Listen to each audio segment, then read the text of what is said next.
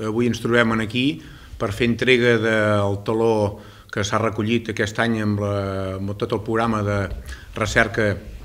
del càncer de colon i recte. Avui ens trobem eh, membres del Club Rotary i membres de l'Institut de Recerca Biomèdica de Girona, que són la fundació que ens ajuda eh, del CAP Salut i ens ajuda a portar endavant aquest programa. Aquest programa de moment està donant bastants resultats, us ho explicaran ells, que tenen les dades, és un programa que va adreçat a tota la comarca de la Garrotxa, és molt important que la gent es faci les proves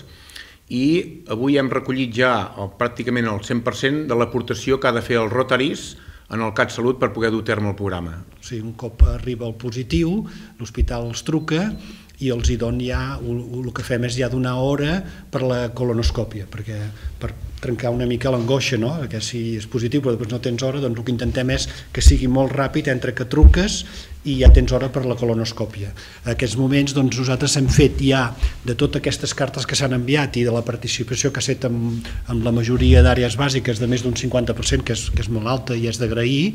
eh, ja passem a la colonoscòpia. S'han fet fins ara 185 colonoscòpies. D'aquestes 185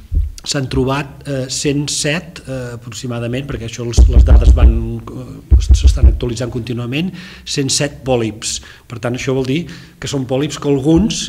amb anys haguessin degenerat amb un càncer. Per tant, eh, aquí és estupendo, això és, una, una, una, és molt important, no? perquè el que estàs evitant càncers en aquella persona i evitant mm, intervencions quirúrgiques complicades i un, i un sobrecost eh, per la, per la, pel sistema sanitari. És important, però ja, ja, ja té el càncer doncs, 8 casos eh, que ja estan alguns, alguns operats, perquè això també hi ha un, un sistema com el CatSalut, doncs hi ha un procés ràpid de detecció, un cop se detecta un càncer de qualsevol tipus de càncer, hi ha el, el circuit ràpid en què tot el procés va eh, perquè la intervenció sigui el més aviat possible. Eh, en aquest moment el programa de cribatge de càncer de colon ja és un programa que està extès a la major part de Catalunya i es fa d'una forma més normalitzada, però moltes vegades eh, fa falta el recolzament de la societat civil per iniciar aquest tipus de processos i d'alguna manera animar les administracions a que tirin endavant projectes més ambiciosos, més de país. En aquest cas s'ha pogut començar amb la Garrotxa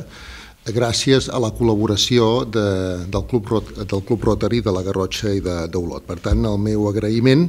amb la seva col·laboració, una col·laboració tangible, de més, una col·laboració amb euros que ens ajuda, sense dubte, doncs, a tirar endavant aquest projecte i que en les comarques de Girona, la primera comarca que s'ha fet, és, o de les primeres comarques que això s'ha fet, és a la Garrotxa, gràcies a la col·laboració de, del Club Rotary. En aquest moment a Catalunya hi han institu institucionalitzat dos cribatges, el cribatge de càncer de mama i el cribatge de càncer de colon. Eh?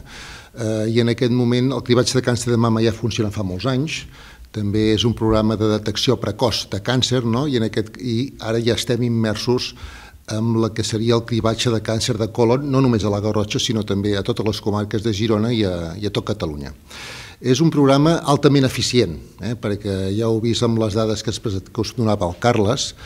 eh, doncs que el nivell de detecció de problemes eh, que encara són petits de salut, que són prevenibles, eh, des del que en diem prevenció secundària, prevenint quan ja la lesió està instaurada, però és suficientment petita com per poder-la tractar fàcilment, doncs això és eh, un programa altament efectiu. Eh? El sistema sanitari a Catalunya i a Girona té les condicions per poder fer això bé, tenim una bona sectorització, una bona xarxa d'atenció primària, i una bona xarxa d'atenció hospitalària. Amb l'Hospital d'Olot estem totalment coordinats per fer aquesta tasca. Pensin vostès que el Trueta en aquests moments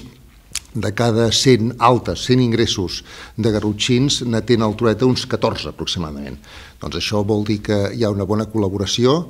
eh, la detecció precoç del càncer i el tractament d'aquests càncers es fan a l'Hospital d'Olot, com ha de ser, però sí, malauradament, hi ha un, algun d'aquests càncers que és més avançat, doncs algunes vegades doncs, haurà de ser assistit a l'Hospital Trueta i d'això també n'estem molt satisfets, l'Hospital Trueta, de poder donar aquest servei també a les comarques de Girona. Com a club podem estar orgullosos de col·laborar en tota aquesta campanya que està portant directament a terme CatSalut, que segurament està salvant moltes vides de manera avançada i per tant eh, doncs, eh, ratificar d'alguna manera aquesta confiança en què això en un futur es pugui seguir fent